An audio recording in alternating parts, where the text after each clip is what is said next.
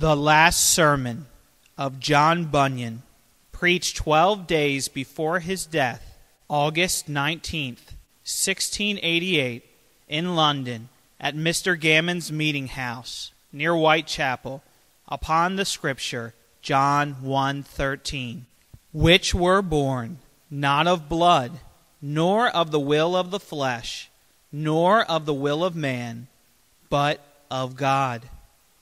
The words have a dependence on what goes before, and therefore I must direct you to them for the right understanding of it. You have it thus He came unto his own, and his own received him not. But as many as received him, to them gave he power to become the sons of God, even to them that believe on his name, which were born not of blood, nor of the will of the flesh, but of God. In the words before, you have two things. First, some of his own rejecting him when he offered himself to them. Second, others of his own receiving him and making him welcome. Those that reject him he also passes by. But those that receive him he gives them power to become the sons of God. Now, lest anyone should look upon it as good luck or fortune, says he, they were born, not of blood, nor of the will of the flesh, nor of the will of man, but of God. They that did not receive him, they were only born of flesh and blood. But those that receive him, they have God to their Father. They receive the doctrine of Christ with a vehement desire. First, I will show you what he means by blood. They that believe are born to it as an heir is to an inheritance. They are born of God, not of flesh, nor of the will of man, but of God, not of blood, that is, not by generation, not born to the kingdom of heaven by the flesh, not because I am the son of a godly man or woman. That is meant by blood. Acts 17:26 He hath made of one blood all nations. But when he says here not of blood, he rejects all carnal privileges they did boast of. They boasted they were Abraham's seed. No, no, says he. It is not of blood. Think not to say you have Abraham to your father. You must be born of God if you go to the kingdom of heaven. Second, nor of the will of the flesh. What must we understand by that? It is taken for those vehement inclinations that are in man to all manner of looseness, fulfilling the desires of the flesh. That must not be understood here. Men are not made the children of God by fulfilling their lustful desires. It must be understood here in the best sense. There is not only in carnal men a will to be vile, but there is in them a will to be saved also, a will to go to heaven also. But this it will not do. It will not privilege a man in the things of the kingdom of God. Natural desires have the things of another world. They are not an argument to prove a man shall go to heaven whenever he dies. I am not a free willer. I do abhor it.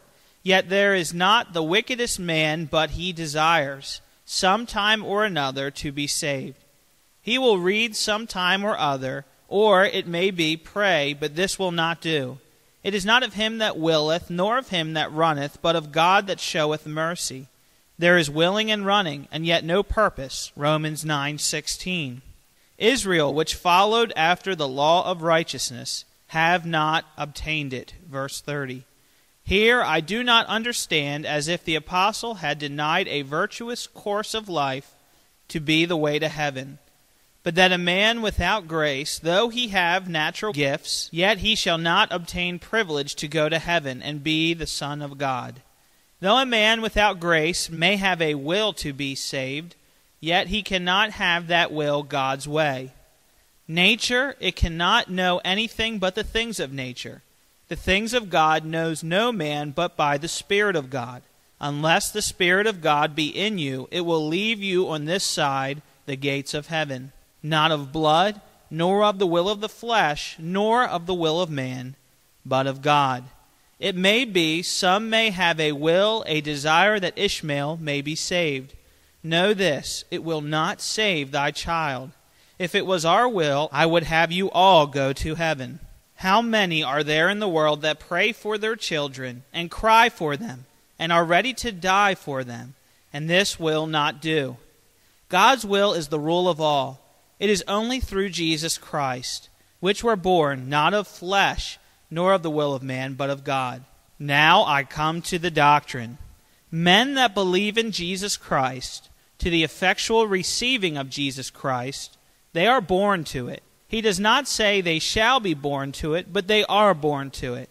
Born of God unto God and the things of God, before he receives God to eternal salvation. Except a man be born again, he cannot see the kingdom of God. Now, unless he be born of God, he cannot see it.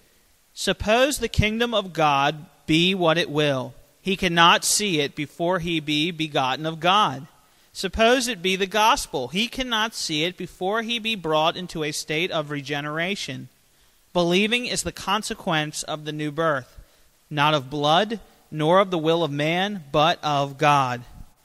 First, I will give you a clear description of it under one similitude or two. A child, before it be born into the world, is in the dark dungeon of its mother's womb. So a child of God, before he be born again, is in the dark dungeon of sin, sees nothing of the kingdom of God.